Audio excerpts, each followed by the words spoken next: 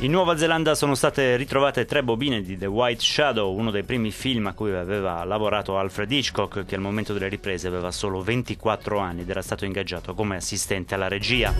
All'appello mancano altre tre bobine di questo melodramma di cui era stata conservata una sola copia.